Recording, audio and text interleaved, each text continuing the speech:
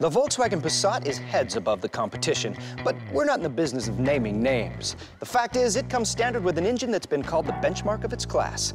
Really, guys? I thought... It also has more rear legroom than other midsize sedans.